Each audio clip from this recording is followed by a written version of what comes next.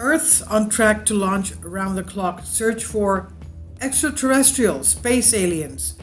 More than 20 radio antennas will be allowed to uh, have a cosmic look for signs of intelligent life in the universe around the clock. The possibility of humans not being the only intelligent life form in the universe has long bothered the minds of many scientists. There are even those, uh, for example, one of them being the former Defense Minister of Canada, Paul Hellyer, who claims that the extraterrestrials are here among us and they look just like us. We could be walking on the sidewalk and passing them on the street and we wouldn't even know they were extraterrestrial aliens. I guess they would use camouflage very well. Now, the possibility of humans not being the only intelligent life in the universe bothered many. The first step towards proving the possibility is increasing efforts to find signs of alien life. After the SETI Institute and the National Radio Astronomy Observation Observatory NRAO teamed up in an initiative that was extensively named the Commensal Open Source Multimode Interferometer Cluster Search for Extraterrestrial Intelligence. For short, it's called Cosmic SETI. That sounds better, doesn't it? Cosmic SETI. They pushed for sweeps for aliens on a 24 7 basis.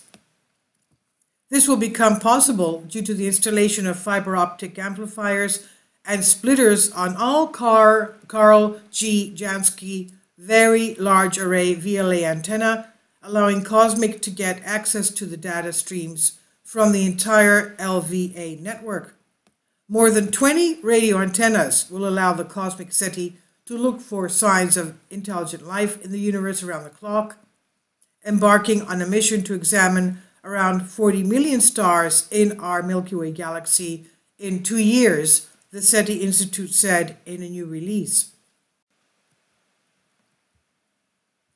We will be able to monitor millions of stars with a sensitivity high enough to detect an Arecibo like transmitter out to a distance of 25 parseconds, that is 81 light years, covering an observing frequency range from 230 megahertz to 50 gigahertz, which includes many parts of the spectrum that have not yet been explored, explored for ETI signals, said SETI Institute Cosmic Project scientist Cherry Ng.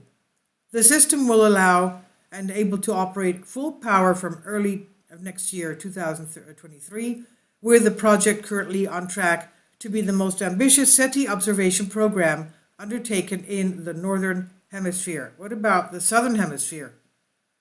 So this is Unbended Reality. Please leave your comments. Thank you for your support.